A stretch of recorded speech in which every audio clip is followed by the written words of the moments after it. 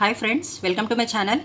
Let us discuss today's question sections of solids. Here take the given data a pentagonal pyramid of base 30 mm and axis 60 mm is resting on its base in the HP. HP means horizontal plane with an edge of the base parallel to the VP. VP means vertical plane. Okay, full stop. A horizontal section plane cuts the pyramid bisecting the axis. Full stop. Draw its front view and sectional top view. Okay, this is the given question. In it, pentagonal pyramid has given. This is the pentagonal pyramid. Okay, this is a given solid. It has pentagon. This is called base. Okay, these are called edges or sides. Okay, of the pentagon. As we know, it has five sides or five edges. Now here, what he has given?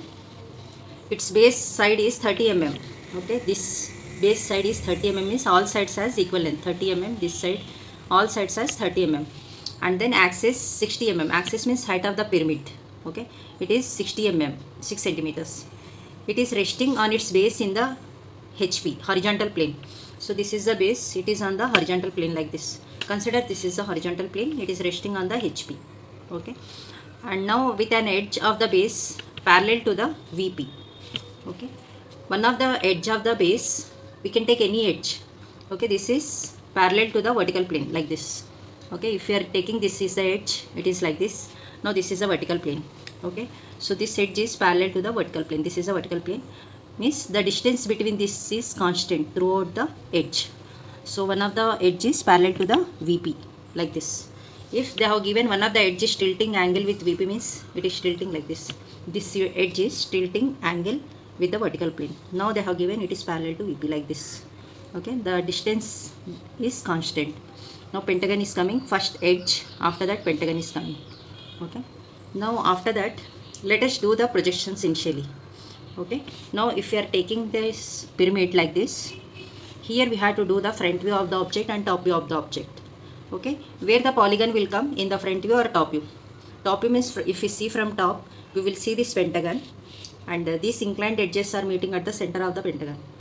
Okay? So first do the pentagon. In top view pentagon is coming. Let us do. Doing these two views we are taking one reference line. It has some length. It is called xy line also. So initially do the top view. Why initially we are doing top view means wherever the polygon is coming. So in top view we will get the pentagon here. First do that polygon. As we know one of the edges parallel to the vertical plane like this. Okay? Now here first we have to do the edge we have to do the pentagon. So which method we are following for doing the pentagon means we are using the outer angle formula. Initially do this line of side how much it has given? 30 mm okay it has given here.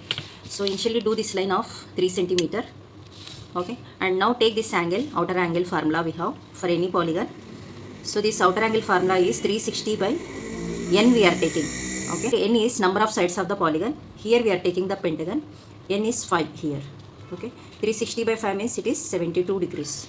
So all outer angles at all the corners outer angle is 72 okay? By using these angles we can construct this pentagon. After that so after doing the pentagon we can see these slant edges also in the from the top we can see the slant edges also. All slant edges are meeting at the center. Okay? Now i'm taking this is called apex. And uh, here also one center is there. In the top view both apex and center are coming at the same point. Okay? Now i am marking apex is it is o. And this center is o1 both o and o1 are coming at the same point. And these slant edges are meeting at this point. And here these slant edges are in the top view meeting at the center. Okay so these all slant edges it is coming like this. Okay this gap has not given we can take any gap from the vertical plane. Okay now this is the top view. In the front view we can see the entire height. First initially mark first initially mark the height. After that we, we can see these slant edges. Okay for doing it just at center do one line. Okay and uh, from this base how much height it is? It has given 6 centimeters okay height of the pyramid. So from this base mark that height. So for apex just now i told i'm taking o. Okay and then do the projector lines at all the corners. As you know projector lines are light color lines. Okay if we do here it is coincide with axis this projector line. Now here top we are giving small letters a b c d e like that for corner names. Now here if you are taking here in the front view it is e dash. This point is b dash this point is at c c dash. And this point is e dash. This point is d dash. Okay same name for front view we are giving dash. For top view we are giving without dash. That in the front view we can see the slant edges. Okay now here do the continuous lines by using the scale. Join with apex.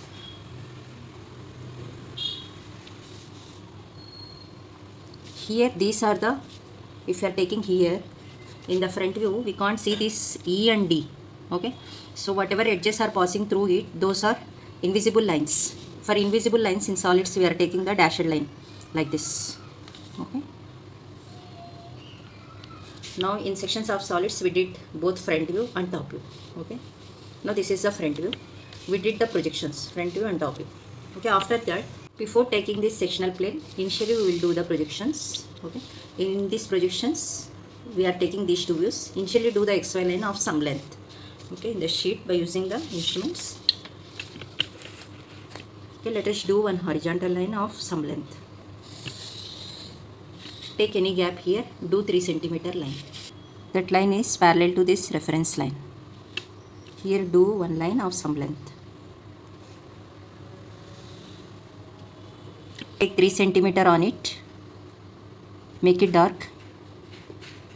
Mark the end points make it dark here after doing this line take this side and this side 72 degrees okay 3 3 centimeter lines 20 and here 72 okay. here join this point to this point take 3 centimeter line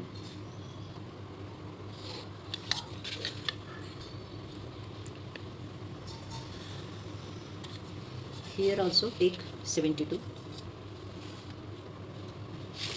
okay do the line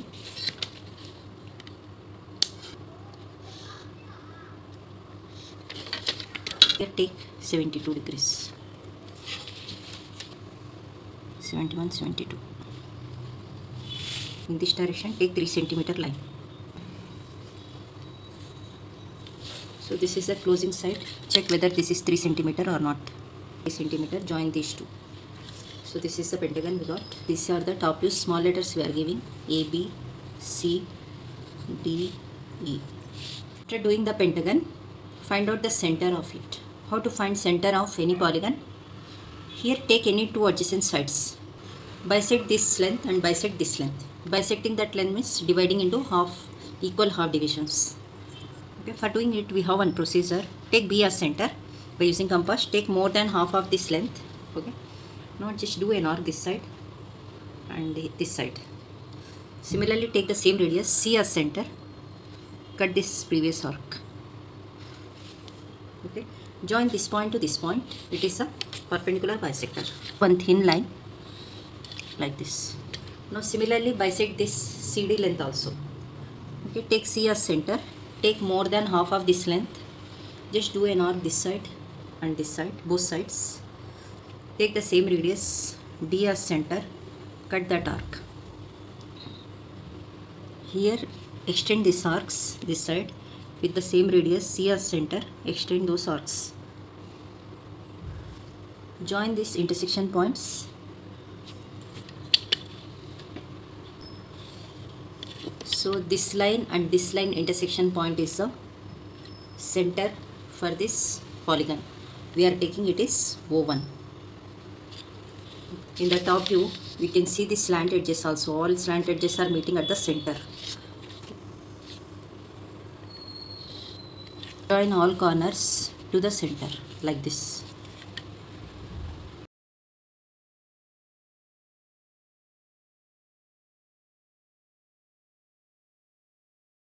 At all these points do the projector lines up to this xy line.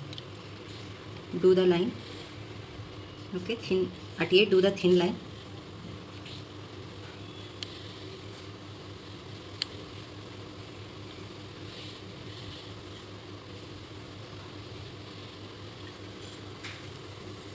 so here mark the intersection points at A it is C dash similarly at B it is B dash here C dash here E dash here D dash O X Y line mark the 6 centimeter height at 6 centimeters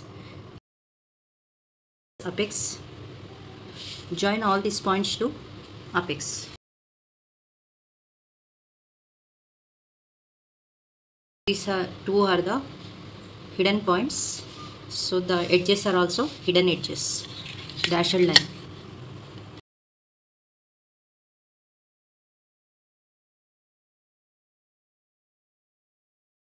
here in it one more question has also given. Here a horizontal sectional plane cuts the pyramid bisecting the axis. Okay here we have taken one plane. Plane means it is a 2d object two dimensional object. Okay so it is a horizontal plane. Now let us take this is a horizontal direction. This is a horizontal plane. Now consider this is a horizontal plane. It is in the horizontal position now if you are taking it is two dimensional view it is it has some width it has some height. If you see here it has a negligible thickness. So we can call it as the horizontal plane. If the position of the plane is like this we can call it as vertical plane. Okay here we are taking the horizontal plane. Okay here this horizontal plane cuts the pyramid bisecting the axis. Here what is the axis? Axis means just now i told this is the apex this is the center. The distance between o to o1 okay it is called axis axis means it is the imaginary line joining this center to the apex. Okay this distance we are calling axis. Here this horizontal plane is cutting this axis cutting the pyramid and bisecting the axis. Bisecting the axis means it is uh, axis length let us take it has given. Axis length is 6 centimeters. At half means from this it is 3 centimeter. Okay at 3 centimeter distance this section plane is cutting the pyramid if we take practically this horizontal plane is cutting at the at the center of the axis height. Okay like this. It is cutting total pyramid. Okay at the p point already we did the continuous line. So this is the front view this is the top view.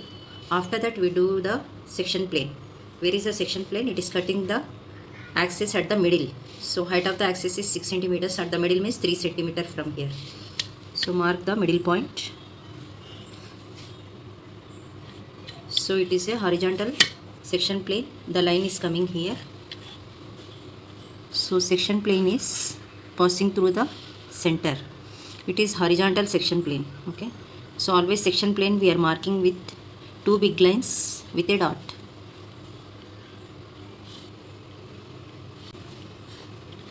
Okay this is the section plane. Here mark the end points v and t. Okay? It is cutting this edge slant edge at this point. Give this name p dash so mark this apex is o dash o dash a dash it is cutting at p dash. And then O dash b dash it is cutting at q dash. And uh, this third edge o dash c dash it is cutting at r dash. And then take the fourth edge okay pqr s dash it is cutting at s dash. Here this point is t dash okay like that we are taking the intersection points. Now here wherever the intersection points are there okay mark those points in the top view also. Okay how to mark these points on the top view means as we know projector lines are joining top view point and front view point. Similarly at these points also do the projector lines. Okay now here take this is the reference line. At p dash do the projector line. Extend this projector line up to this set to o1a so on oa we are getting p point so here also up to oa do the projector line of p. Okay this is a p point. On o dash a dash p dash on oa it is p. Okay. And similarly extend this r also on oc oc is here. Extend this projector line. Take this is the reference line. Do the projector line. Okay this point is small r on OD S dash okay extend this S dash up to OD take this is the reference line. At this point up to OD okay. So this is S small letter okay. Now T where is T is coming? On OE on OE we had to mark. Take this is the reference line up to T. At T do the projector line so this point is small t. Okay we got p r s t. Q we have to mark. Where is q point? On ob okay but here it is coming on the same axis line. Take this is the center. Okay o1 is the center. Or is the radius. This is the radius. Do an arc up to this ob like this. Okay whatever intersection point is coming take that point is q point why we are taking like this means here we are getting the inclined edges oa and oa same point we are marking. But ob is on the same line and uh, this line is also on the same. That's why take this radius same center do an arc up to this. Take this is a q. After getting pq or st join all these points okay? After cutting this part removing this part from the top view we are getting this section okay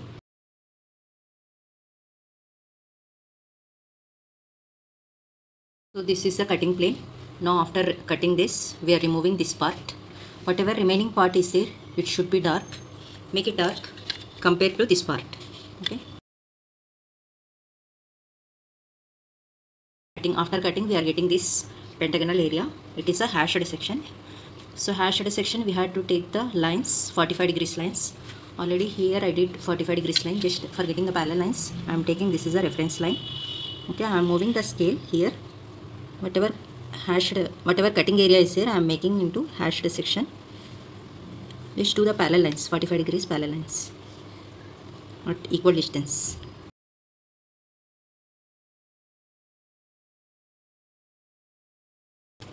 So from the top view we can see this area and uh, this pentagon also we can see.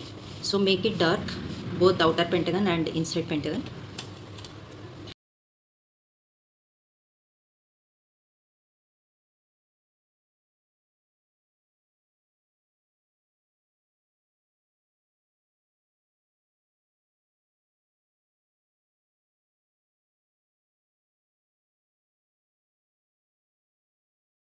So here marked the given dimension. The side length of the pentagon is 30 mm and here the height of the axis is 60 mm and this cutting plane is passing through center of this axis.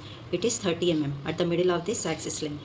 This is a method of doing the section of given pentagonal pyramid. If you like this lecture, please press the like button, subscribe my channel and share with your friends. Thank you for watching.